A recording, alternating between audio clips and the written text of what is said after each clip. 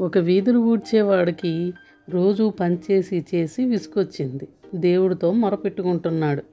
స్వామి నీకేమి? రోజు హాయిగా పూజలు అందుకుంటూ ఉంటావు? నా బ్రతుకు చూడు ఎంత కష్టమో. ఒక్కరోజు ఒక్కటంటే ఒక్కరోజు నా పని నువ్వు చెయ్యి నీ పనిని నేను చేస్తా. అప్పుడు నా బాధ అని సవాలిసిరాడు. దేవుడు కూడా అది విని సరేనా అన్నాడు అయితే ఒక్క షరతు నీ ముందుకొచ్చిన భక్తులు ఎవరేమన్నా నువ్వు మాత్రం ఎట్టి పరిస్థితుల్లోనూ స్పందించకూడదు నోరు మెదపకూడదు అన్నాడు దేవుడు. సరే అన్నాడు మనోడు. తెల్లారేసరికి మనోడు దేవుడి స్థానంలో కూర్చున్నాడు. కాసేపటికి ఓ ధనిక భక్తుడు వచ్చాడు.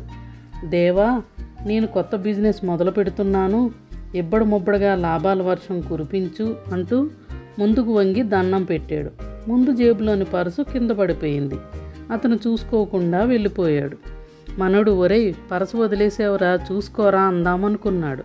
కానీ దేవుడు చెప్పింది గుర్తుకు తెచ్చుకొని మౌనంగా ఉండిపోయాడు. ఇంకాసేపటికి ఒక పేదవాడు వచ్చాడు దేవా నా దగ్గర ఒక్క రూపాయి మాత్రమే ఉంది. అది నీకు సమర్పించుకుంటున్నాను. దయచూడు తండ్రి అంటూ మోకరిల్లాడు. కళ్ళు తెరిచేసరికి డబ్బులతో నిండి ఉన్న పరస కనిపించింది. ఇలా దయ చూపించావా తండ్రి అని ఆ పరసు తీసుకొని వెళ్ళిపోయాడు. ఒరే దొంగ అని అరుద్దాం అనుకున్నాడు మనోడు. కానీ దేవుడు చెప్పింది గుర్తుకొచ్చి ఎలాగోలా తమాయించుకున్నాడు. ఆ తర్వాత ఒక నావికుడు వచ్చాడు. దేవా రేపు సముద్ర ప్రయాణం ఉంది. నన్ను చల్లగా చూడు స్వామి అన్నాడు. అంతలోనే ధనిక భక్తుడు పోలీసులతో వచ్చాడు. నా తర్వాత వచ్చింది ఇతడే కాబట్టి ఇతడే నా పర్సును దొంగిలించి ఉంటాడు. పట్టుకోండి అన్నాడు. పోలీసులు అతడిని అరెస్ట్ చేశారు. ఈ అన్యాయం చూసి మనోడు ఉండబట్టలేకపోయాడు. ఆగండ్రా ఇతను నిర్దోషి అసలు దొంగ పేదోడు. ఇంకొకడు పర్స్ తీసుకెళ్ళాడు అని అరిచేశాడు.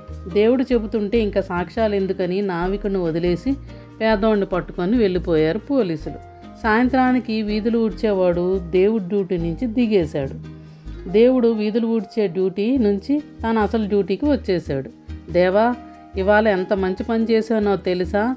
నేను ఒక నిర్దోషిని అరెస్ట్ కాకుండా కాపాడాను అని దోషిని అరెస్ట్ చేయించాను అన్నాడు మనోడు.